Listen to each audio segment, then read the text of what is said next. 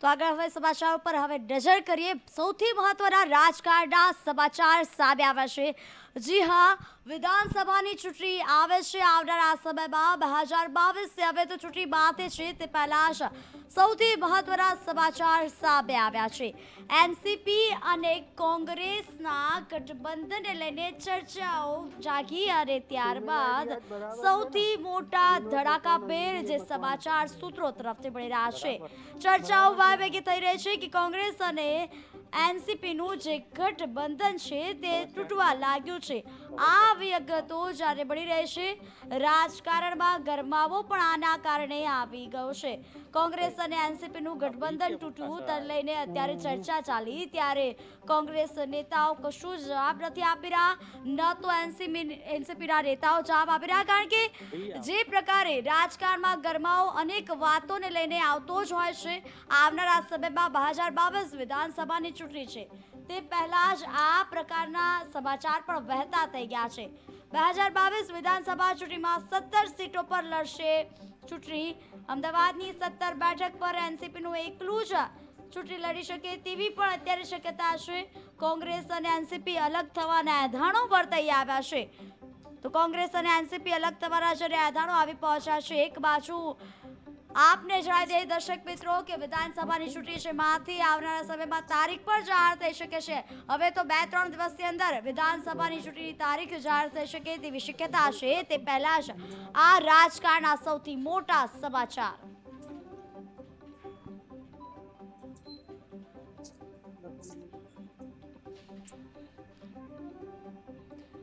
તો આશા કે વધુ માહિતી જાણવા માટે એનસીપીના અમદાવાદ શહેરના પ્રમુખ જોડાઈ ગયા છે. આજે ગઠબંધન તૂટ્યાના સમાચાર વહેતા થઈ ગયા છે. વાયુવેગે ચર્ચા થતી જોવા મળી રહી છે. શું લાગે છે આપને? કારણ કે વિધાનસભાની ચૂંટણી તો માથે છે. કોઈ ગઠબંધન હાલ થયું જ નથી. ગઠબંધનની વાતો જે ચાલતી હતી એમાં અમે અમદાવાદ શહેરની સત્તર વિધાનસભાની જે સીટો જે લડાવવાના છીએ, હાલ એ નક્કી છે. જ્યાં સુધી ગઠબંધન ઉપરના લેવલે ના થાય.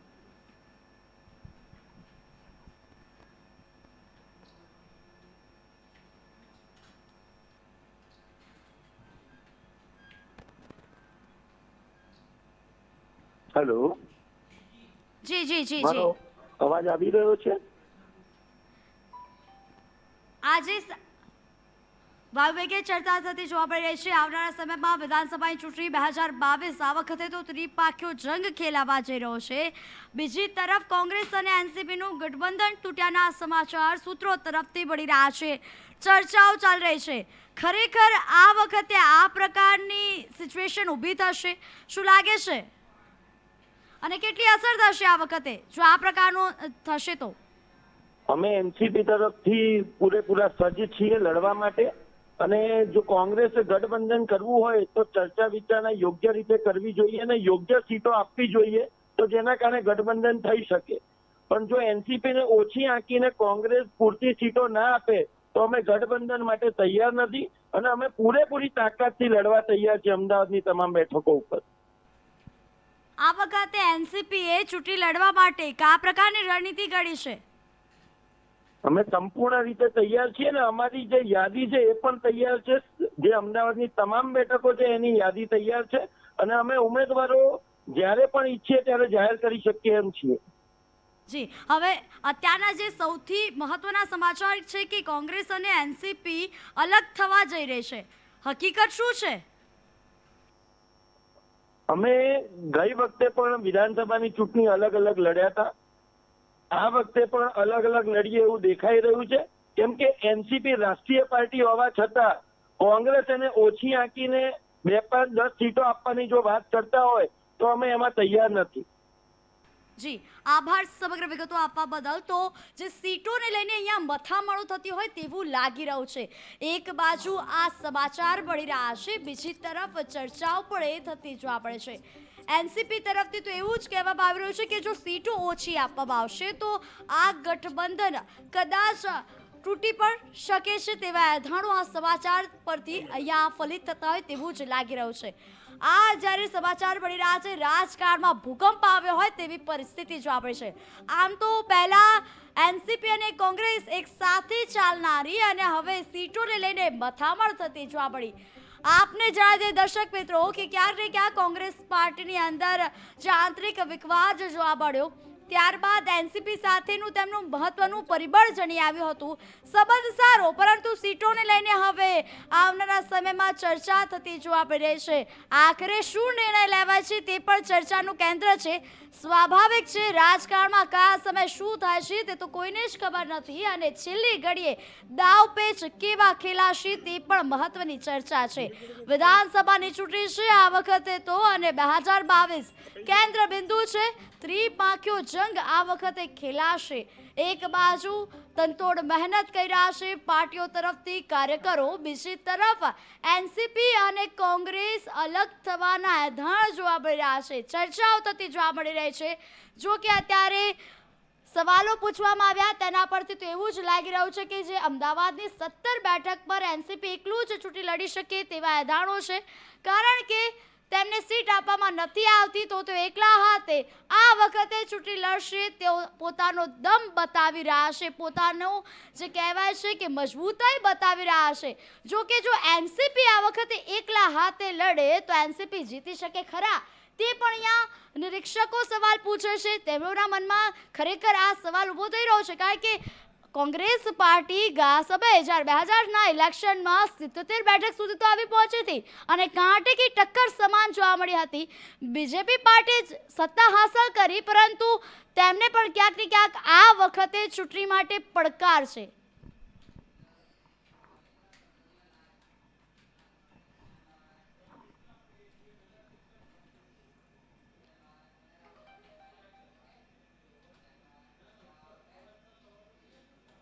આ અંગે વધુ માહિતી જવા માટે સંવાદદાતા રવિન્દ્ર ભદુરિયા જોડાયા છે સિદ્ધાર્થ લાઈવ રવિન્દ્ર, આજે ચર્ચાઓ વાયુવેગે થતી જોવા મળી રહી છે. આવનારા સમયમાં વિધાનસભાની ચૂંટણી માથે છે અને તે પહેલાં જ આ પ્રકારની ચર્ચા સૂત્રો તરફથી વિગતો મળી રહી છે. રવિન્દ્ર, કે એનસીપી અને કોંગ્રેસ તૂટવાના આધાર જોવા મળી રહ્યા છે. શું લાગે છે સૌપ્રથમ આપને?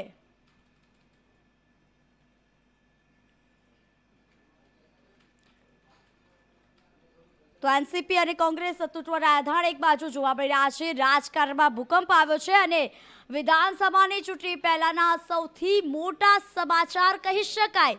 એક બાજુ કોંગ્રેસ પાર્ટી સક્રિય થઈ રહી છે. કોંગ્રેસ પાર્ટીના નેતાઓ તરફથી એવું કહેવામાં આવી રહ્યું છે કે આ વખતે તો બૂથ લેવલ સુધીનું કામ કરવામાં આવ્યું છે. કોંગ્રેસ નેતાઓ તો એમ પણ કહે છે કે કોઈ જૂથવાદ નથી. બીજી તરફ આ પ્રકારની ઘટનાઓ જોવા મળી રહી છે. જો કે સીટોને લઈને અત્યારે ચર્ચાઓ તો થતી જોવા મળી રહી છે, કારણ કે વિધાનસભાની ચૂંટણી છે. કયો દમદાર ખેલાડી આ વખતે મેદાને ઉતારશે તેને લઈને પણ ચર્ચા છે.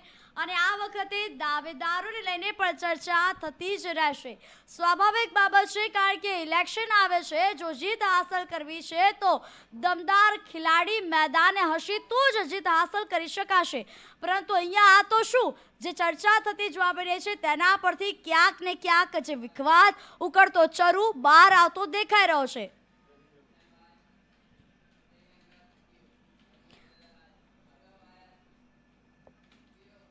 તો આ અંગે વધુ માહિતી જવા માટે સંવાદદાતા રવિન્દ્ર ભદુરિયા જોડી ગયા છે.